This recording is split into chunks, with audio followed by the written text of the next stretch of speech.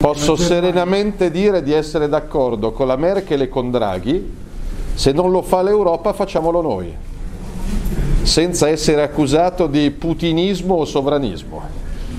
Eh, la salute non conosce confini, non conosce ostacoli o logiche geopolitiche. Se c'è un vaccino che funziona e l'Europa ritarda, la Germania come l'Italia, come la Francia, come l'Austria hanno diritto a procedere per loro conto. Quindi sono contento che ieri sera il Presidente Draghi abbia confermato la linea del buonsenso e del pragmatismo.